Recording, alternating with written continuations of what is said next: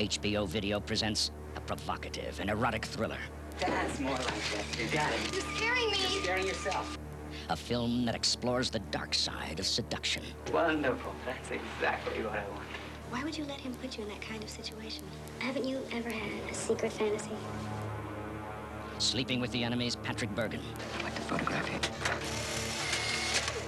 And Sean Young of No Way Out. Why do you hate women so much? I don't hate women. Be the horse. Good. Good.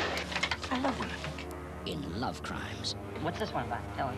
Well, Da- I play Dana Greenway, and she's an assistant DA. Who goes after the sex criminal who basically is protected by the law because it's a gray area. Did you let him know you didn't want to have sex with him? No, not really. Wait!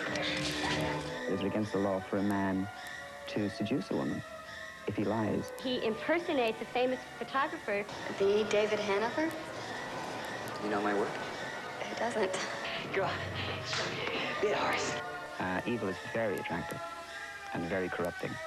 You've got nothing on me. You know that, and I know that.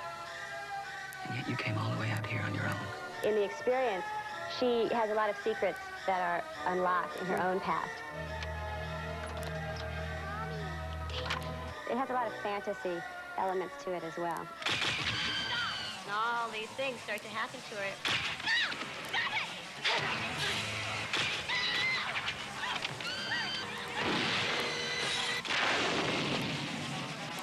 He's every woman's fantasy and every woman's nightmare. You came to my place. Now come to yours. Patrick Bergin and Sean Young, two of Hollywood's hottest stars in Love Crimes.